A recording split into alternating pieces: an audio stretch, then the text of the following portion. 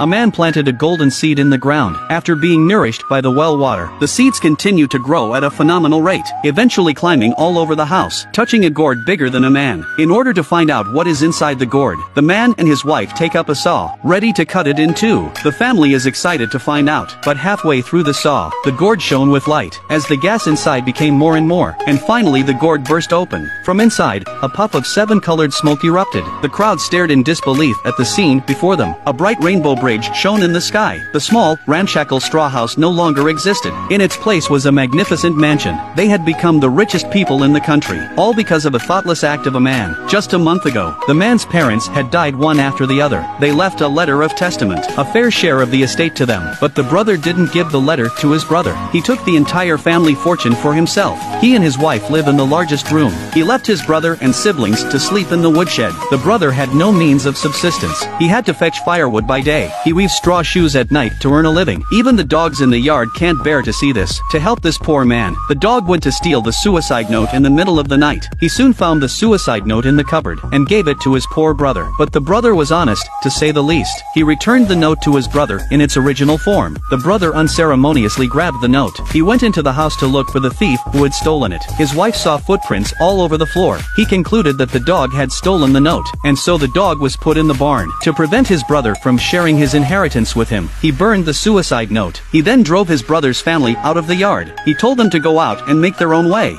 It was with great sadness and anger that the three men, braving the pouring rain, they set out on a homeless journey. Eventually, they found an abandoned straw house, but their son, who had spent the day in the rain with them, he had caught a cold and was unconscious. Looking at their son lying on the ground, the man was heartbroken and helpless. He decided to ask his brother for some rice porridge to feed his sick son, while his brother was eating roast chicken with his wife. When he heard that his brother had come to ask for rice, the brother said he didn't have any food at home for him. He told him to find his own way. He also threw the dog, which was dying of hunger, at him. Seeing his brother's heartlessness, he was left with tears of anguish. He had no choice but to take the dog and return to the straw house. Looking at the family he had to feed, the man was so worried that he couldn't speak, not knowing how to feed them. At that moment, the wife took out her dowry gold ring from the cupboard. She told him to sell it and buy some rice, to tide over the immediate difficulties. The next day, the man sold the ring to an old man. The greedy old man wanted to make a higher profit. He only gave three cents for it, in order to save on family expenses. The couple chose to plant the land to get some food, but the land was covered with stones and stakes. They had to spend another day clearing the land. What happened next changed the man's fate forever. Two swallows came to build a nest under the man's roof. They managed to give birth to three swallows, but that day when they went to plant, the dog was left alone with the baby. A python set its eyes on the swallows under the eaves of the house. By the time the dog found them, only the last swallow was left in the nest. The python opened its mouth to the swallow. When the dog saw this, he went straight for it. He pulled the snake by the tail and tore it off. A battle between dog and snake. The python uses its huge body to wrap itself around the dog. The python is about to eat the last of the swallows, but the puppy managed to use its last bit of strength. He managed to ward off the killer blow, but it was to no avail. The anaconda squirmed closer to the swallow. The look in its eyes is one of hunger for food. The moment of truth. The man cuts the snake down with his scythe. The swallow is saved.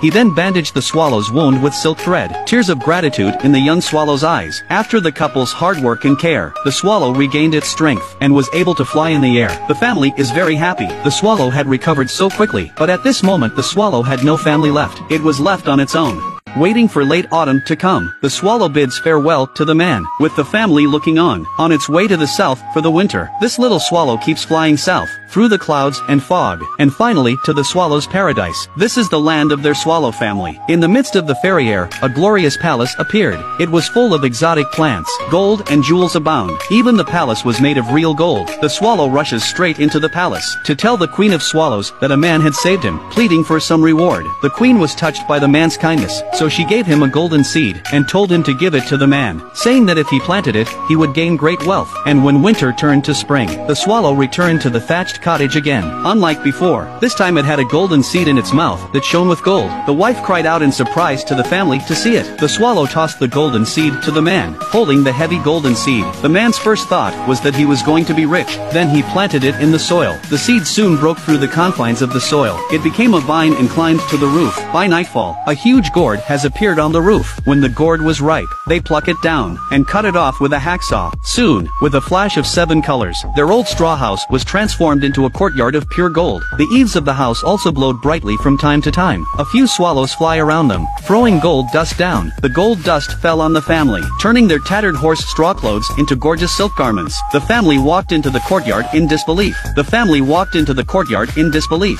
Inside, the decor was extraordinarily grand. Not only was there a private garden and pond, the house was also filled with countless pieces of gold, silver, and jade. Even the tables and cupboards are made of gold. The rice bins were filled with food that would not be eaten in 100 years. All of this makes them feel like they are living a dream. But the truth is that they are the richest people in the country. They didn't become arrogant and domineering. Instead, they did charity work. The man opened his granary and gave a bag of rice to every family in the village. The old man is extremely grateful to him, and his wife opens her cupboard. Inside were mountains of luxurious silks, and gave them to the women of the village. The old woman said, I've never seen such fine cloth in my life. The villagers came home laden with grain and cloth. At the same time, his fat brother soon found out that his brother had grown gold seeds and become rich. His wife sent him to the house to ask for the gold seeds. With the dream of making a fortune, the brother ran out of the family home, towards his brother's luxurious mansion. This made him forget that he was a 300-pound fat man. Five minutes later, he arrived at his brother's house. He kicked in the door. The nephew warmly invites him into his house. The couple greeted the strutting brother. The brother was ungrateful for this. He barged rudely into their main hall. He was dumbfounded by the decor. He too was dumbfounded. All the furniture was made of gold. Even the floor was made of gold. He accidentally fell on the floor. A gold coin on the floor caught his eye. He bit it with his teeth, and it was real. Then, there was another gold-encrusted chest on the table. He took it back to his home without saying a word, and when he opened it, it was filled with gold coins. His wife was beaming with joy. Then he said, the golden seeds had been given to him by the swallows. If they could only get the swallow to send them gold seeds too, then they would be richer than their brother's family.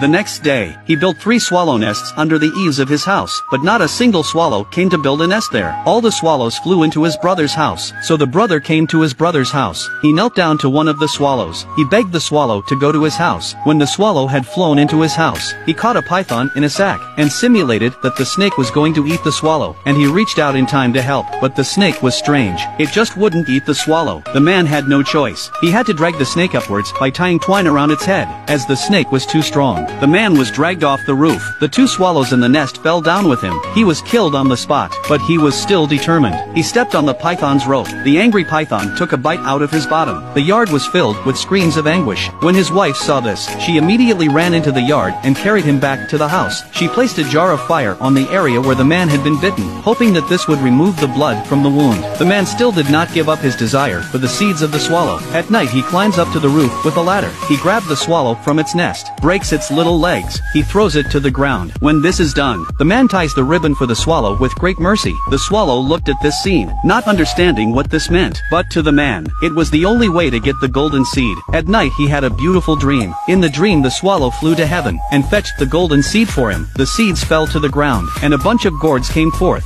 filled with an endless supply of gold, silver, jade, and grain. But soon a blue monster appeared, and swallowed all his wealth. The man woke up with a start. Luckily, it was only a dream, but it also foreshadowed the end of his life. After dawn, the swallow can fly high in the sky again. The couple were overjoyed. Let it go to heaven to find golden seeds for itself. The swallow crosses the clouds. Finally, it arrives in the swallow's paradise. He told the queen of swallows that he had been abused by a man. The queen decided to avenge him. She handed the swallow a seed of evil. She told it to be planted by a man. It will be followed by bad luck. When the man got the seed, it was a treasure.